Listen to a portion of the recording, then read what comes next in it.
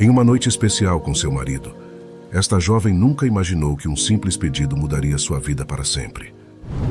Tudo começou com uma simples conversa sobre desejos não atendidos e a necessidade de liberdade.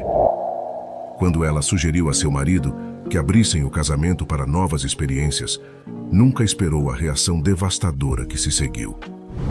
Ele sumiu, não só de sua vida, mas levando consigo tudo o que ela possuía, deixando-a à mercê do seu próprio destino.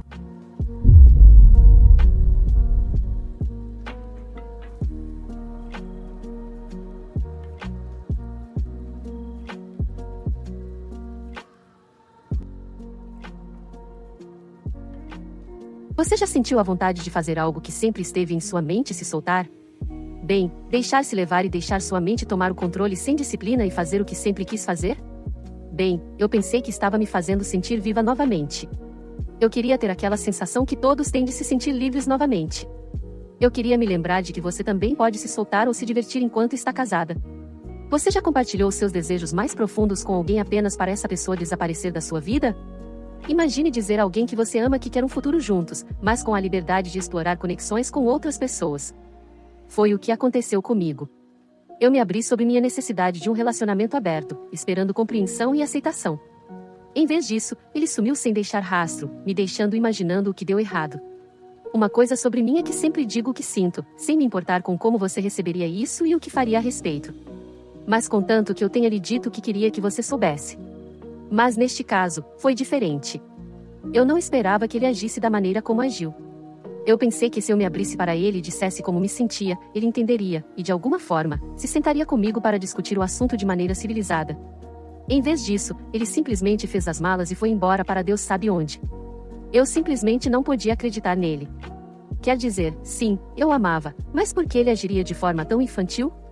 Quero dizer, porque a maioria das pessoas hoje em dia, especialmente as mulheres, não são mais elas mesmas quando se casam. Algumas se perdem a tal ponto que fazem o casamento parecer uma união com o verdadeiro eu de alguém. Algumas acabam se arrependendo de ter se casado porque não têm mais permissão para fazer coisas que as faziam felizes. Elas se tornam pessoas que não são. Isso mata muitas de nossas irmãs casadas. Você não sente mais liberdade quando você se casa. Precisei de muita coragem para compartilhar isso. Então eu só aceito conselhos e não julgamentos. Eu sou Verônica, tenho 27 anos, e meu marido é Mike, e tem 37 anos. Nos conhecemos pela primeira vez em um clube de golfe. Havia uma reunião de negócios no clube enquanto jogavam golfe. Eu era garçonete por um dia. Bem, eu estava estudando para o meu mestrado em psicologia, então estava fazendo um trabalho paralelo enquanto estudava para poder sobreviver e pagar meus estudos. Naquele dia, fui designada para trabalhar no campo, garantindo que os gurus dos negócios fossem bem cuidados e tivessem tudo o que precisavam. Enquanto os atendia, cometi um pequeno erro. Tropecei e a bebida que estava segurando acidentalmente caiu no colo de um dos empresários. O cara gritou comigo e me chamou de estúpida e outros nomes duros. Tentei me desculpar, mas o cara não queria saber e estava furioso. Mike veio em meu socorro e falou com o cara, dizendo que foi um acidente que ele pagaria pelos danos que eu causei aos shorts de golfe do homem. Eu não sabia o que dizer, então apenas agradeci a Mike pelo resgate. Aquele dia foi o mais difícil da minha história de trabalho. Eu me senti muito diminuída, humilhada, envergonhada e estúpida. É muito difícil ser garçonete porque você sempre tem que colocar um sorriso no rosto, mesmo que não esteja se sentindo bem. Ou se um cliente não gosta do que você serviu e então eles te chamam de nomes e de inútil. É realmente difícil trabalhar sob os termos de que o cliente sempre tem razão, mesmo quando eles estão errados. Alguns gerentes acabam demitindo uma garçonete por causa de uma reclamação do cliente dizendo ao gerente que seu serviço é ruim. É difícil sempre tentar manter a calma e continuar sorrindo, mesmo quando a situação não permite. Mas porque você precisa do trabalho, tem que seguir as regras e deixar seus sentimentos de lado.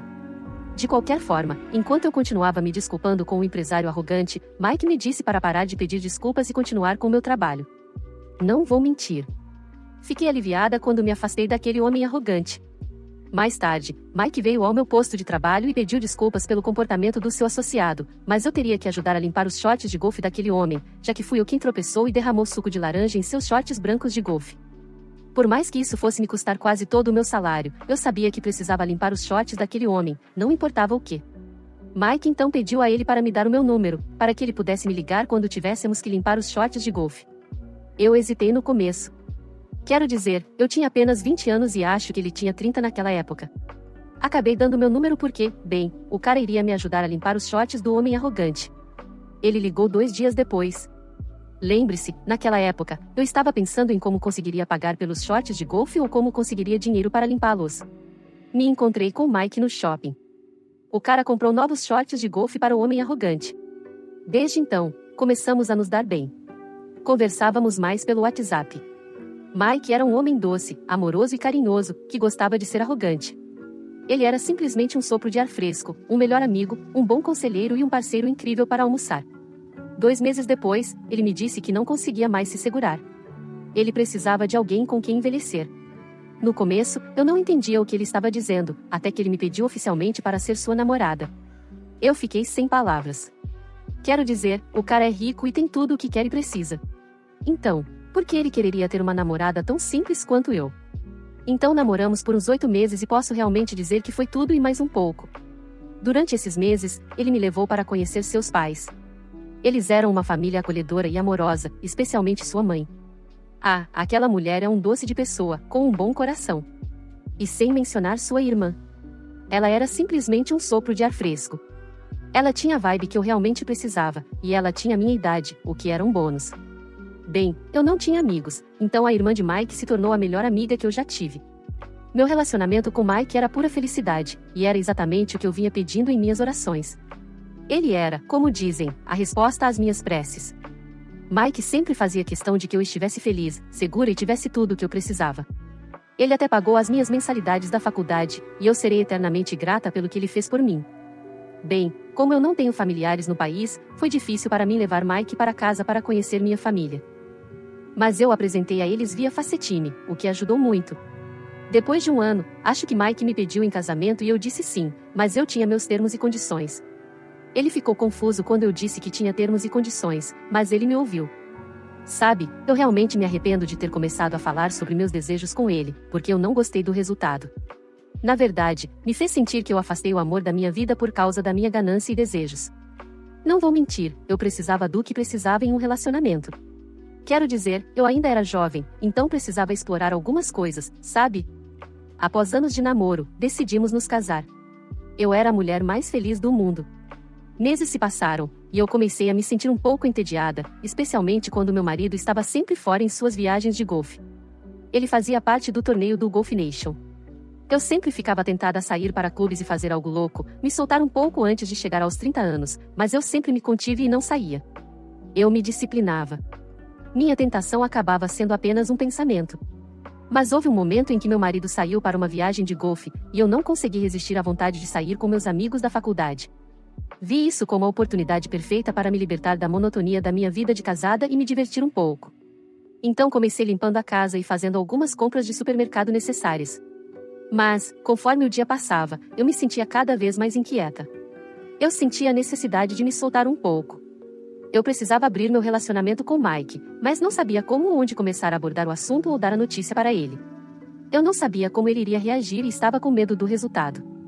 Eu tinha tantos, e se, na minha cabeça, mas eu sabia que precisava contar a ele sobre meus desejos. Após muita reflexão, decidi ligar para a garota com quem eu estava trabalhando. O nome dela é Sara, uma mulher de 29 anos. Sara e eu estávamos na mesma universidade, e foi ela quem me apresentou ao gerente do restaurante da empresa de catering onde eu trabalhava. Foi assim que começamos a nos dar bem. Então, liguei para ela e pedi para nos encontrarmos. Felizmente, ela concordou e me disse que queria me apresentar a um novo restaurante e um lugar para relaxar que havia sido inaugurado recentemente, não muito longe de onde trabalhávamos. Então, combinamos de nos encontrar na cidade para que ela pudesse me levar a esse novo lugar. Mal sabia eu que ela queria me levar para uma boate. Eu não fiz perguntas porque, bem, eu confiava nela, e sabia que ela não me levaria a um lugar que me prejudicasse, ou me colocasse em problemas com meu marido. Eu realmente pensei que iríamos apenas comer, tomar algumas bebidas, e mais tarde, antes do pôr do sol, nos despediríamos. Mas esse não foi o caso com Sara. Mais tarde, Sara e eu nos encontramos e almoçamos. Decidimos beber enquanto eu contava a ela sobre meus desejos e como meu marido estava ausente ultimamente. Bebemos e acabamos curtindo a boa música e o ambiente. Tivemos algumas bebidas e dois caras vieram até nós e nos convidaram para nos juntar a eles. Por causa da atitude confiante de Sara, ela aceitou o convite dos caras para nos juntarmos a eles. Quando as coisas ficaram animadas, um dos caras se aproximou de mim e começou a me fazer elogios. Ele era muito charmoso e um pouco bonito, mais jovem que eu, provavelmente 25 anos. Sara então de repente disse: Vamos continuar a festa em outro lugar. Como eu gostaria que ela não tivesse dito isso, mas eu não poderia prever o que estava prestes a acontecer. Eu queria recusar, mas em algum momento não queria deixar Sara com caras desconhecidos que acabávamos de conhecer. Então eu fiquei e obedeci. Eu sei que foi uma decisão péssima da minha parte, porque eu era casada, mas naquela hora eu coloquei minha vida de casada de lado e fui com o momento. Fomos para um hotel, que ficava a cerca de 5 quilômetros do restaurante. Enquanto estávamos lá bebendo com os caras, comecei a perceber que éramos duas mulheres e dois homens, o que significava que cada um tinha um parceiro. Comecei a me sentir um pouco desconfortável, pois eu era a única casada entre essas pessoas, e eles estavam tão tranquilos. Não vou mentir, aqueles caras eram engraçados. O cara que estava me elogiando veio até mim enquanto eu olhava a vista do lado de fora. Ele se apresentou como Gary, um homem de 25 ou 26 anos, não tenho certeza. Ele tinha uma maneira de me fazer sentir confortável. Foi então que percebi que precisava me soltar um pouco, pois estava me sentindo um pouco culpada. Começamos a falar sobre a vida e teorias da conspiração e percebemos que tínhamos algo em comum. As bebidas continuavam chegando. A música continuava tocando e nossa conversa ficava cada vez mais profunda. Eu me vi atraída pelo sorriso charmoso e pelos olhos gentis dele. Ele era simplesmente um sopro de ar fresco. Dormimos no sofá, abraçados, e eu fiquei grata por nada ter acontecido entre nós. No começo, senti uma mistura de culpa e excitação pelo fato de nada ter acontecido, e tive uma oportunidade de me soltar. Eu nunca tinha feito algo assim antes, e não sabia se poderia me perdoar. Mas nada realmente aconteceu, certo? Então, por que me sentir culpada se nada aconteceu? Durante todo o dia, me vi me perdendo no momento, e a culpa começou a desaparecer. Nossa viagem chegou ao fim, e eu sabia que tinha que voltar para minha casa entediante. Além disso, meu marido estava voltando, então eu tinha que ir. Quando cheguei em casa, encontrei Mike já de volta, o que foi um choque para mim, porque eu não esperava que ele voltasse mais cedo, já que eu também tentei voltar antes dele. Bem, acho que ele conseguiu evitar o trânsito, ele perguntou de onde eu estava vindo, então eu disse a ele que tinha passado a noite fora com as amigas, mas deixei de lado a parte dos caras porque, se eu tivesse mencionado isso, o inferno teria se instaurado. Às vezes, meu marido e eu passávamos os finais de semana juntos, mas não era divertido porque ele sempre assistia jogos de golfe e eu ficava sentada com ele lendo um livro, o que era puro tédio para mim. Minha mente estava pensando na noite anterior. Eu estava me sentindo negligenciada pelo meu marido há bastante tempo, mesmo quando ele estava por perto. Ele estava sempre ocupado com o trabalho e seus jogos de golfe e nunca parecia ter tempo para mim. Eu me sentia mais como uma obrigação para ele do que uma parceira amada. Não vou mentir e dizer que a noite anterior foi entediante, porque não foi. Na verdade, foi cheia de vida e diversão. Eu aproveitei cada momento e desejava poder voltar no tempo e reviver aquela noite. Desde então, meu marido tinha estado muito ocupado com o trabalho e seus jogos de golfe. Para dizer a verdade, golfe realmente me entedia. Não há nada de divertido nisso. Mostra que é um jogo para pessoas ricas. Então, um dia, Gary me enviou uma mensagem no Instagram. Fiquei tão chocada por ele me mandar uma mensagem, mas não perguntei nada. Apenas respondi às mensagens dele, que eram uma boa distração, pois eu estava entediada em casa. Ele me convidou para acompanhar ele a uma festa de um amigo. Eu hesitei no começo porque não sabia o que diria ao meu marido, mas Deus veio ao meu auxílio e eu realmente precisava sair e me distrair um pouco. Eu tinha ficado presa em casa por muito tempo, Estava louca para me soltar e me divertir, mas não queria fazer nada que pudesse colocar meu casamento em risco. Então, aquele fim de semana foi uma ótima oportunidade para me soltar um pouco. Assim que meu marido saiu, decidi aproveitar a situação. Coloquei meu vestido favorito, arrumei meu cabelo e maquiagem, e esperei Gary vir me buscar, porque esse era o plano. Quando chegamos lá, já senti o clima. Havia tantas pessoas e acho que eram amigos e talvez colegas. Vi amigos dele que conheci naquela noite, eles estavam com seus parceiros, que eram muito amigáveis e divertidos. A música estava alta. Todos estavam se divertindo e cuidando da própria vida, e era disso que eu realmente precisava. Foi muito libertador poder ser eu mesma sem me preocupar com o que meu marido pensaria. No dia seguinte, acordei me sentindo um pouco de ressaca e arrependida. Tinha bebido um pouco demais na noite anterior e estava preocupada que meu marido notasse quando voltasse. Mas quando olhei no espelho, vi uma versão confiante e despreocupada de mim mesma olhando de volta. Percebi que não precisava ser perfeita o tempo todo e que era tudo bem me divertir. Nos dias seguintes, continuei explorando minha nova liberdade sempre que meu marido estava no trabalho ou jogando golfe. Continuei conversando e saindo com Gary. Ele me fazia sentir tão viva enquanto me apresentava novas boates. Eu sabia desde então que havia encontrado meu verdadeiro eu. Finalmente encontrei a pessoa que sempre quis ser. Sim, minha amiga Sara e eu saíamos, mas ela respeitava meu marido, então não queria ficar mal vista por ele. Minhas amigas tratavam Mike como se ele fosse um deus ou algo assim. Às vezes, eu achava que ela estava enganando ele ou a mim para pensar que respeitava meu casamento. Uma manhã feliz, acordei feliz e de bom humor. Mike e eu tínhamos tido um momento íntimo muito quente e amoroso na noite anterior. Fizemos muito amor, então decidi acordar cedo para preparar um bom café da manhã para meu marido, e para nos prepararmos para o dia como tínhamos planejado. Íamos sair juntos para nos mimar e tentar trazer de volta a chama que tínhamos antes de nos casarmos. Eu tinha planejado tudo. Eu estava tão feliz que ia passar tempo com meu marido depois de muito tempo dele sempre sair. Então, naquela manhã, ele desceu as escadas vestindo suas roupas de golfe e trouxe seu kit. Eu não entendia por que ele estava vestido assim, então perguntei por que estava usando roupas de golfe, já que tínhamos planos para o dia. Ele me deu uma desculpa esfarrapada e disse que seus amigos de golfe haviam mandado uma mensagem sobre um jogo que aconteceria no mesmo dia que deveria ser nosso. Meu humor instantaneamente desabou. Eu estava tão brava com ele, mas também estava brava comigo mesma por pensar que Mike realmente ia me escolher por uma vez e não seus jogos de golfe ou seus amigos. Quero dizer, porque alguém prometeria passar tempo com você e ainda garantiria que o dia seria só para nós, e que íamos desligar nossos telefones para não sermos incomodados. Mas a cabeça dura dele ligou o telefone e viu a mensagem dos amigos sobre um jogo que ia acontecer justo quando tínhamos planejado outra coisa. Ele me garantiu que estaria disponível para o almoço e jantar. Mais tarde, tive esperança de que Mike estaria de volta e continuaríamos nosso dia como tínhamos planejado. Então decidi cozinhar todos os pratos favoritos dele para o jantar. Eu realmente sentia falta do meu marido, e aquele era o momento perfeito para contar a ele sobre meus desejos. Preparei tudo e até mandei uma mensagem pedindo para ele voltar para casa mais cedo. Eu sabia que, ao abordar a questão dos meus desejos, ele não reagiria como uma pessoa comum. Mas eu simplesmente não sabia as consequências que viriam com o fato de eu ter contado a ele sobre meus desejos. Ele voltou mais cedo, assim como eu havia pedido. Jantamos conversando levemente e eu sabia que era hora de soltar a bomba e abordar o elefante na sala, com a esperança de que ele de alguma forma entendesse porque eu precisava do que eu precisava. Então, depois do jantar, pedi para conversar com ele antes de ele ir para a cama. Disse que realmente queria envelhecer com ele e começar uma família. Eu disse a ele e o tranquilizei de que o que eu estava prestes a dizer não significava que havia algo que tinha mudado entre nós, porque não havia nada. Eu literalmente disse: Eu tenho pensado. Foi assim que comecei. Minha voz estava hesitante, mas determinada. Eu te amo mais do que palavras podem expressar, Mike. E quero passar o resto da minha vida com você. Seus olhos suavizaram, um sorriso surgiu nos cantos de seus lábios. Eu sinto mesmo, Rony. Então respirei fundo, reunindo coragem. Mas também sinto que há uma parte de mim que está inquieta, que anseia por algo mais. Quero explorar. Experimentar coisas diferentes, mas não quero te perder. Quero um relacionamento aberto. A expressão de Mike vacilou, surpresa misturada com incerteza. Um relacionamento aberto.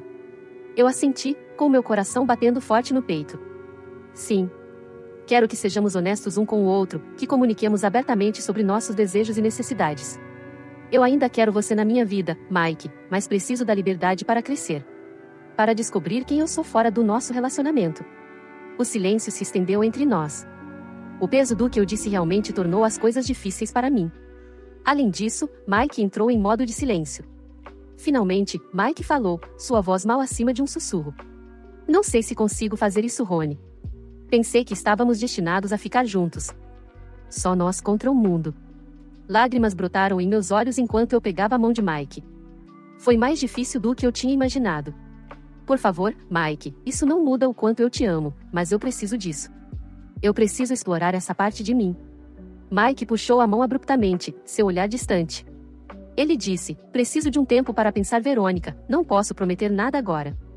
Eu sabia que nosso relacionamento estava por um fio, então tive que esperar qualquer coisa de Mike. Primeiro soltei a bomba de que queria que explorássemos novas aventuras.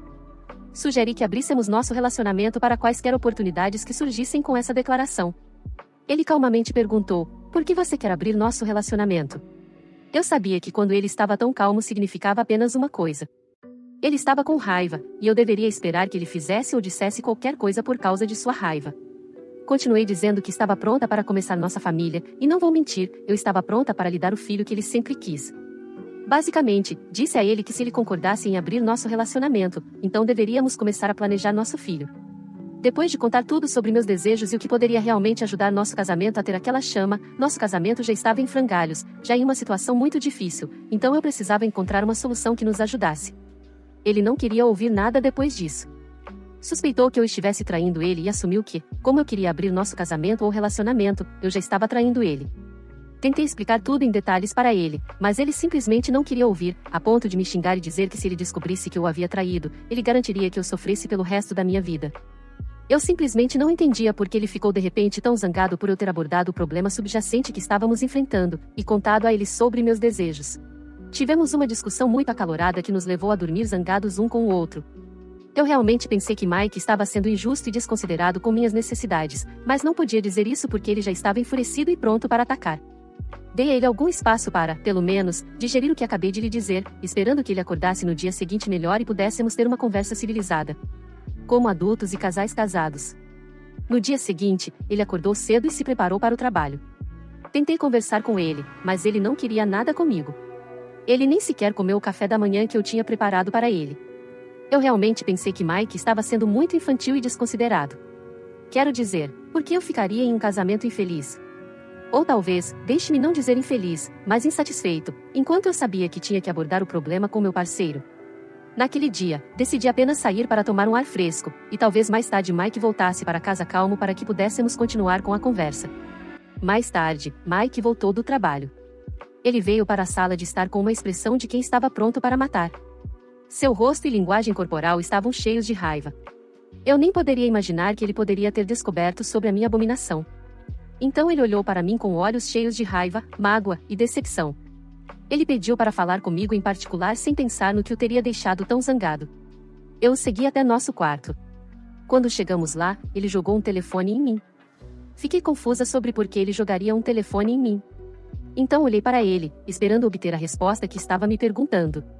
Em vez disso, ele me disse para apertar play no vídeo que foi postado no Twitter.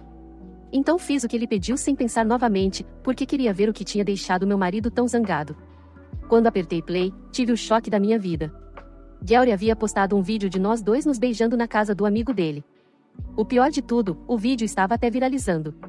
Eu estava tremendo e sem palavras. Não consegui nem pedir desculpas porque não sabia o que estava acontecendo. Eu achava que nada tinha acontecido entre Gary e eu, então o vídeo realmente me confundiu. E por que eu não me lembro de nada? Do jeito que Mike estava super irritado, ele perguntou se esse era o motivo pelo qual eu queria abrir nosso casamento, para que eu pudesse fazer essas coisas nojentas. Meu coração estava batendo tão rápido, como se eu estivesse tendo um ataque de pânico ou um pequeno ataque cardíaco. O que fez meu sangue correr assim foi o fato de que eu não me lembrava de nada.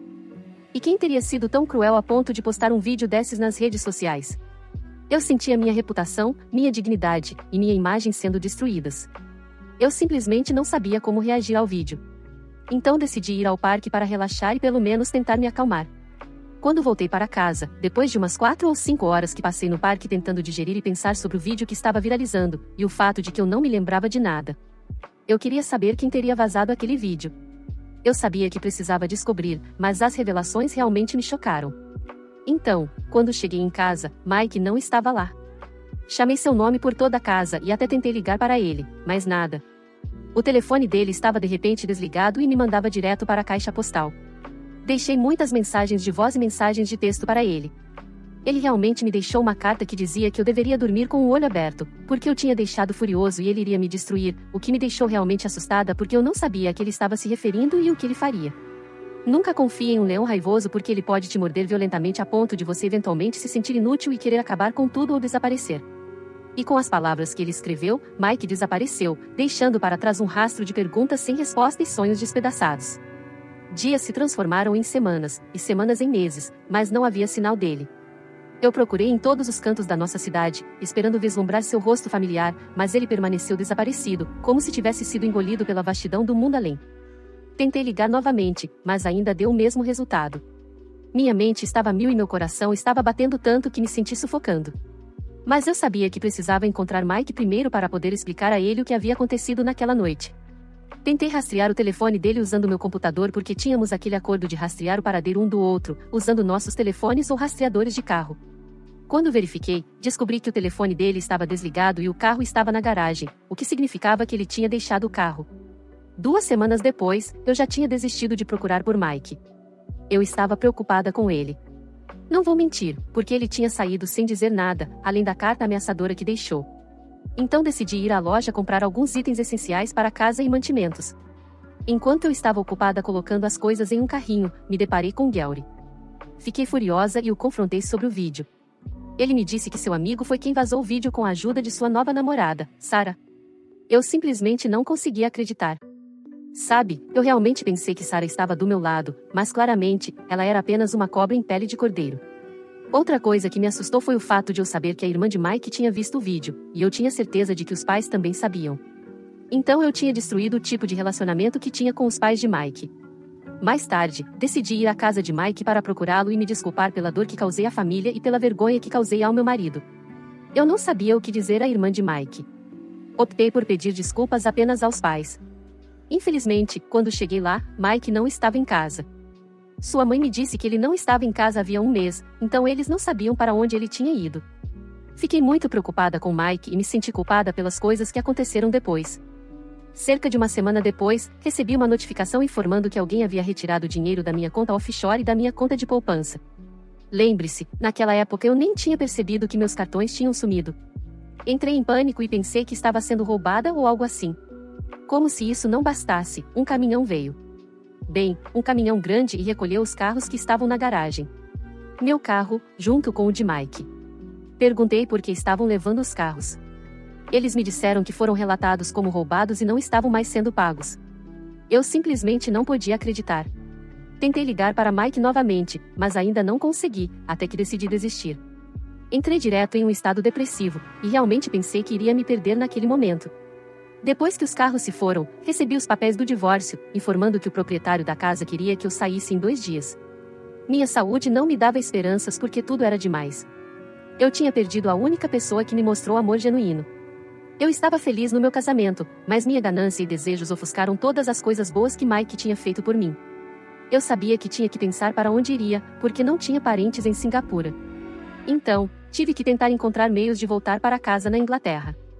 Felizmente, Mike me ensinou a guardar um pouco de dinheiro em um lugar seguro, caso eu me metesse em apuros ou algo acontecesse. Então, peguei aquele dinheiro e comprei uma passagem de avião. Eu simplesmente não podia ficar mais tempo em Singapura. Eu pensava que tinha acabado com tudo o que me fez mudar para Singapura. Quer dizer, fui para lá estudar, e estudei com a ajuda de Mike. Completei meu mestrado em psicologia. Saí de lá com o coração pesado. Nunca pensei que meus desejos me levariam a esse tipo de situação na vida. Perdi o amor da minha vida. Ele simplesmente desapareceu da nossa cidade, e eu realmente queria saber onde ele estava e se ele estava bem. Foi isso que aconteceu comigo. Coloquei meu coração na linha, expressando minhas esperanças e necessidades. Em vez de entender ou discutir isso mais a fundo, ele escolheu desaparecer da nossa cidade sem uma palavra. Isso me deixou questionando tudo. A sinceridade dos sentimentos dele, a força da nossa conexão. Fiquei com uma mistura de emoções, mágoa, confusão e um toque de raiva. Mas, apesar de tudo, percebi a importância de ser fiel a mim mesma e às minhas necessidades, mesmo que isso signifique enfrentar desfechos difíceis. Com o passar do tempo, aprendi a conviver com essa dor, a lembrança agridoce de um amor que foi tão puro e não curado. E embora Mike não estivesse mais ao meu lado, guardei as memórias que compartilhamos. Grata pelo tempo que passamos juntos, por mais breve que tenha sido. Eu realmente pensei que Mike entenderia meus problemas, sabe? Mas agora me arrependo até de ter aberto a boca e confessado meus desejos. Realmente não sei por onde começar a procurar Mike, porque sinto que devo a ele um pedido de desculpas pela dor que causei. Vocês acham que ele pode me perdoar e me dar uma chance de pelo menos consertar nosso relacionamento depois do que aconteceu? Eu realmente me arrependo do que fiz a Mike. Jogue jogos estúpidos e receba prêmios estúpidos. Nunca deixa de me surpreender como essas pessoas são delirantes. A autora tinha praticamente tudo o que poderia querer, e ainda assim, não era suficiente. Ela traiu o marido, expressou seus desejos de querer dormir com outras pessoas, e de alguma forma, Acha que ele é infantil por se recusar a falar sobre isso? Ela não queria um relacionamento aberto. Ela queria continuar traindo sem consequências. Mike fez a coisa certa aqui, e qualquer pessoa sensata faria o mesmo que ele. E você? O que achou dessa história? E qual seria seu conselho para a autora? Me deixe saber nos comentários. Se você gostou desse vídeo, demonstre seu apoio ao canal deixando seu like e um comentário. E considere se tornar um membro do canal clicando aqui embaixo no Seja Membro. Muito obrigado aos membros do canal pelo apoio e obrigado a todos por assistirem até aqui.